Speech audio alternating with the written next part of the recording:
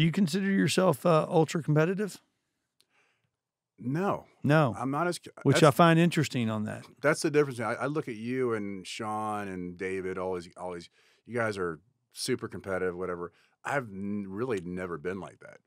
And my my, my whole I, I don't know. My whole thing is more just get out there and just meet people. Everybody likes you. Be friendly Mhm. to everybody. I'm not. You know. I don't talk bad about other producers or whatever. Oh, he's great or whatever. Mhm. You know. And that works for me. Okay. You know. Um, What about in? I'm still Uh, competitive. I just don't yeah. have that. Uh, you know, like yeah. Well, and, beat and, me this and- month or whatever. And, and I, I've I've I've had that through the years, you know. So that's been one of my driving forces. But Mhm. uh, you know, to your point, you know, where I am in my career, where I am in my life, Mhm. you know, I've I've pulled back on that on that mindset of I don't want to lose to this guy. And in turn, what I've done is said, Hey, I lost to this guy. Which if I, you know, if you look at it from Right. that standpoint, you go, you know what? At least he's in my spirit. But more importantly, like you just said, you might have lost to him. Yeah. And I've lost deals to other people that you know I won't say names or whatever, but I know they will. They'll still come back to me first. And even if you lose a deal, you still didn't lose the relate. You still Yeah. you still didn't lose. You Yeah. might have lost that transaction, but big deal. Well, and it's maybe not so much that you lost, but they won, right? Right. Just having that mindset, and again, Yeah. Just uh, Be ho- hoping, yeah, hoping that hey, if if somebody because in in our worlds when we're dealing with niche products and the loan sizes that Yeah. we're working, you know, you're bound to bump up against five or six of your Yeah. normal guys and gals that we compete with. But hence the mentality should be go out there and get a ton more people out there throwing Mhm. your names out. Yep, You're going to get more loans than you're going to want to do anyway, and you're going to lose a handful and you're not going to care. yep, So to me, it's like focus on that and creating more call Jim 1st Mhm, situations mhm. And, and people. And My the one- mindset has always been call Jim second. That might be one of the few things I disagree with you on.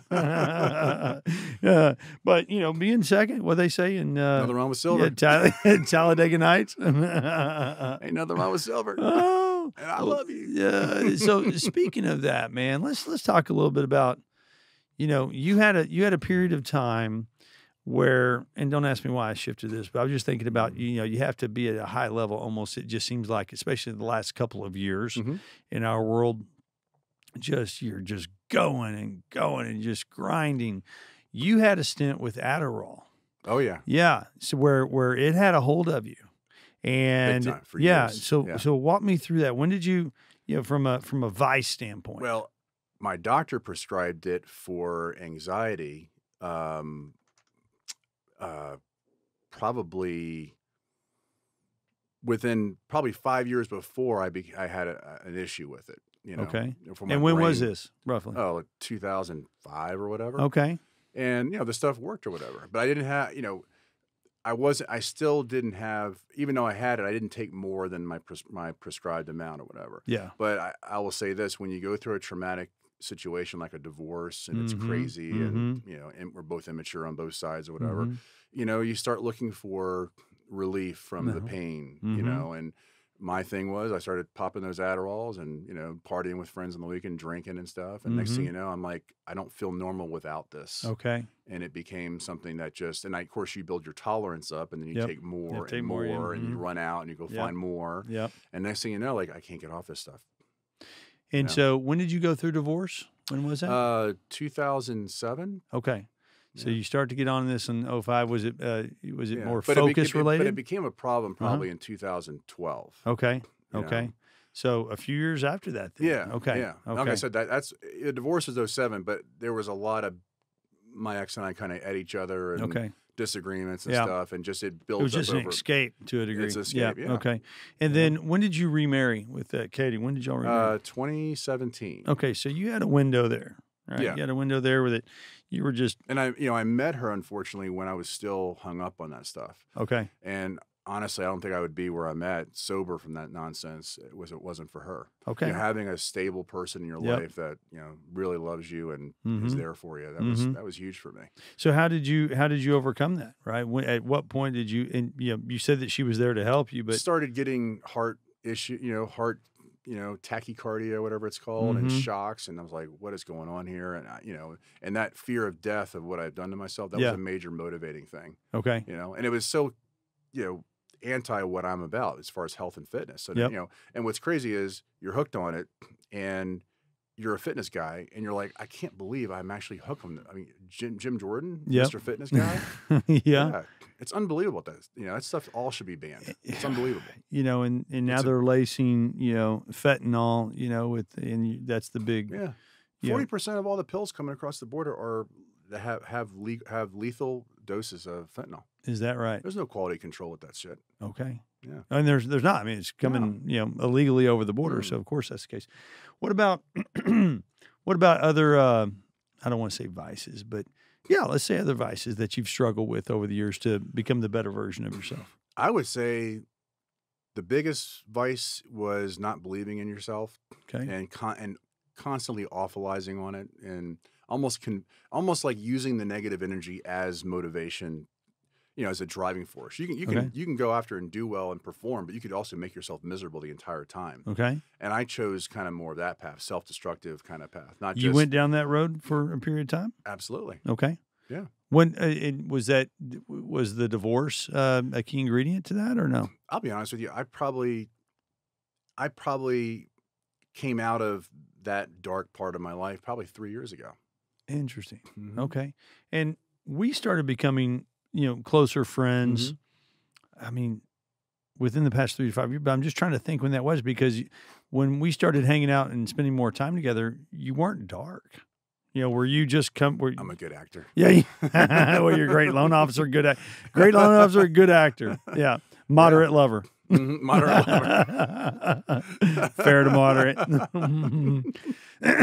but you, so you, it's just been of recent times. Now, you, one of, if not your best friend in the world, passed away too through all of this. frank Frank, Frank, yeah. yeah, and he was he was he had an injury got hung up on on pain pills Yep. started you know getting counterfeit stuff because he wouldn't get a you know doctor wouldn't prescribe more and you know and it just he got a bad dose of some. it killed him. Okay, and when was that? Uh, that happened in that happened three three years ago this January. Okay, Mhm. okay. So at some point you decided that, to make a that shift. was very motivating. Seeing, Yeah. you know, when you finally lose somebody who's so close you've known since you were 17, 16 years old, yeah, and you that person is no longer here, and you know Mhm. why, and you're Mhm. like, wait, what am I doing? Yep. You know, mm-hmm, still dabbling in this and that every now and then, partying, and you know, mm-hmm. and that Enough of that, huh? Yeah, Okay. Then, um, and what are are you? You're 50 or 51? I'm trying. forty nine 49. Okay. When do you turn 50? April. April. So it's right around the corner. I gotta make a note to be. I gotta be in. I gotta be in the states for yeah, that. we're still trying to figure out what We're we're gonna we're gonna have an Adderall party. oh, that stuff is awful. uh, yeah. Oh, yeah, it's just everybody's full of shit. I mean, Yeah.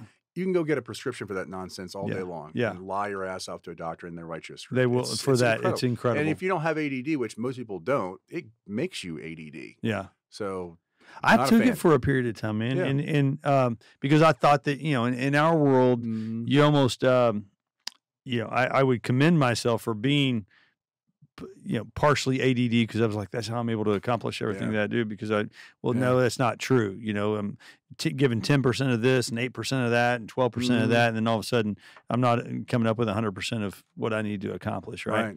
but whenever I would whenever I was taking the Adderall man I will agree with you I was like whoa this is I can focus or I feel really but it's A good. It, Yes. You really, it, you make you think you are, but Mhm. it actually makes you worse.